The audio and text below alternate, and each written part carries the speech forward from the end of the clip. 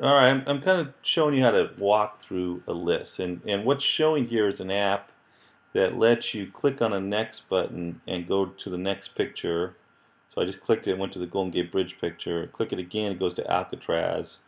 And if I click it again, it kind of stops, right? And I've got this index variable, which is kind of keeping track of, of where I am, right?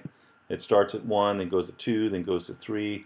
And as soon as it gets too big, the next button stop, kind of stops working. And what I want to show you is I want to make it so it'll just kind of loop around. So once it gets done showing Alcatraz, if you hit next again, it'll loop back to the front.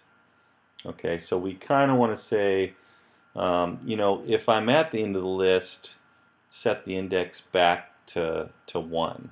Okay, what I'm going to do is, I know I'm always going to change my picture, so I'm going to take that out of the if, and I'm going to add an else here okay. And I'll just click on that blue icon and I can add the L. So if my index is small enough if I'm not on the last picture I'm going to add 1 to it.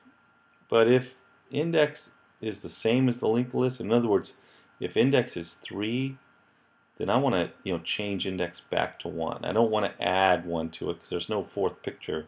I want to loop back to the first one. So what I'm going to do is just grab a set index and I'm going to just set index to, to 1.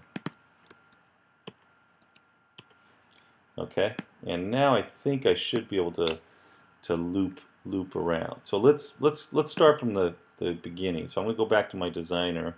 I also picked up my phone to and, and switch that thing. So in my designer, if I kind of want to change things, I just need to make some setting change.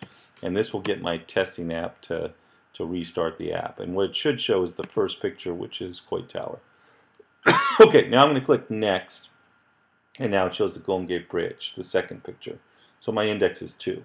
Click Next again, and it's going to show Alcatraz, the third and last picture. Now before, if I click Next, nothing would happen. Now I believe index will get set to 1 and I'll go grab Coit Tower again. So let's see, I just touch next and there's Coit Tower. So I can just kind of flip around through all these pictures uh, now because, because of the change I just made.